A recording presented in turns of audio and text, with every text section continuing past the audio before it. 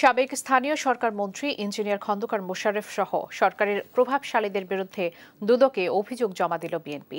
একই সাথে দুদকের বিরুদ্ধেও দুর্নীতির অভিযোগ আনা হয়। বিএনপির লিখিত অভিযোগ গ্রহণ করে সংস্থার সচিব জানান, আইন অনুযায়ী ব্যবস্থা নেওয়া হবে।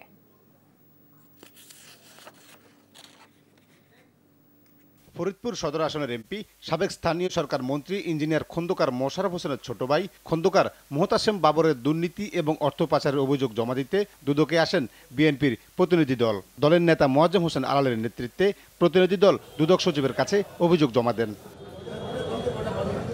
পরে বিএনপি নেতা বলেন ফরিদপুরের দুর্নীতির সাথে সরকারের প্রভাবশালীরা জড়িত।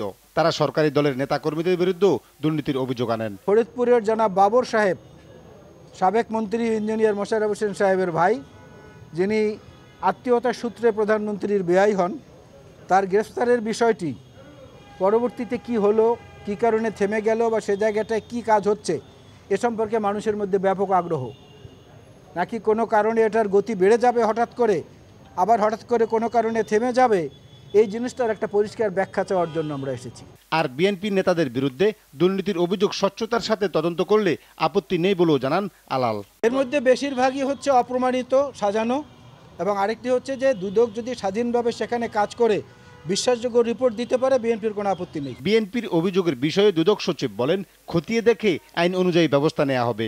ওনার দুইটি বিষয় দিয়েছেন রিসিভ রিসিভ করেছে আমরা বলেছি এটা বিধিমতো ব্যবস্থা আমরা প্রেষণে দুদকে জনবল নিয়োগের কারণে দুর্নীতি বিরোধী কাজ বাধাগ্রস্ত হচ্ছে বলেও জানায় বিএনপি।